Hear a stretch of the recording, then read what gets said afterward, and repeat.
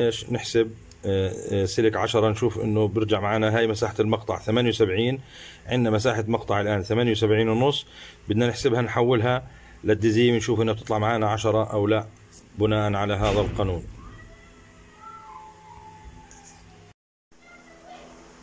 طيب الآن ننتقل للحاسبه طبعا مساحة المقطع كانت تبعت 10 آه، ديزيم اللي هي 78 ونص. آه خلونا بس نقلب الآلة الحاسبة على أساس إنه تعطينا بالجذر. طيب آه ثمانية وسبعين ونص قلنا القانون بيحكي اثنين ضرب مساحة المقطع تقسيم الباي ثلاثة وأربعة بالمية الكل تحت الجذر طبعا اثنين مش تحت الجذر. فخلونا آه، نحسب ثمانية وسبعين ونص تقسيم اللي هي مساحة المقطع تقسيم الباي اللي هي ثلاث عفوا أعطيني ثمانية وسبعين ونص تقسيم آه الباي اللي هي ثلاثة وأربعتاش في المية بيطلع معنا خمسة وعشرين. طبعا إحنا عندنا جذر الخمسة وعشرين يساوي خمسة آه والآن نضربها في اثنين بيطلع معنا عشرة. فإذا طلعت معنا مساحة أو القطر عشرة. اللي هي استنتجناها من هذا القانون اللي هو اثنين ضرب مساحة المقطع تقسيم الباي تحت الجذر أه حسبناها وطلع معانا عشرة ديزيم. وهيك إحنا بنحسبها. أه بس بدي أكرر لكم إياها المعلومة على أساس إنكم تحفظوها. أول إشي أه القانون بيحكي اثنين ضرب. طبعا هاي اثنين ضرب مش تحت الجذر لحالها. مساحة المقطع تقسيم ال pi اللي هي ثلاثة وأربعتاش بالمية. آه، المساحة المقطع وال pi تحت الجذر. بنحسب أول شيء مساحة المقطع بنقسمها على الباي والرقم اللي بيطلع معانا بنحطه تحت الجذر وبعدين بنضربه باثنين والناتج معانا بكون هو القطر.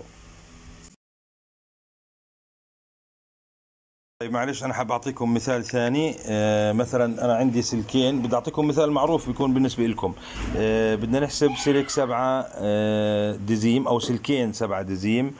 آه بنحسبهم على السريع بنحسب مساحة مقطعه. آه السبعة دزيم.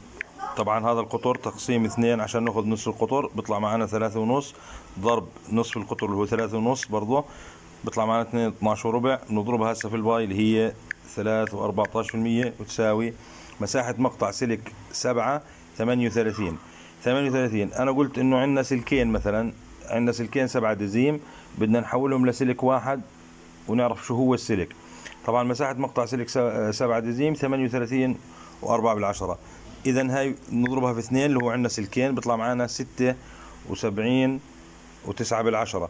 ستة وسبعين وتسعة بالعشرة آه هاي مساحة المقطع المطلوب الآن أعرف أنا شو القطر اللي بيساويها. أنا ما بعرف آه، فبدي أحسبها بالقانون اللي هو حكينا عنه اثنين ضرب آه، مساحة المقطع تقسيم ال pi الكل تحت الجذر. فبنحسب أول شيء مساحة المقطع بنقسمها على ال pi. عندنا مساحة المقطع اللي طلعناها تبعت سلكين السبعة ستة وسبعين وتسعة بالعشرة. تقسيم ال pi اللي هي ثلاثة وأربعة في المية بيطلع معانا أربعة وعشرين وأربعة. طبعا أربعة وعشرين وأربعة الآن بنحطها تحت الجذر. آه، أربعة وعشرين وأربعة تحت الجذر تساوي أربعة وتسعة. الآن بنضربها في اثنين تكملة القانون وتساوي طلع معانا تسعة وثمانية بالعشرة يعني عشرة ديزيم. هذا الناتج الآن هو بالديزيم. تسعة وثمانية بالعشرة يعني عشرة ديزيم. إذا سلكين سبعة دزيم يساووا سلك واحد عشرة دزيم.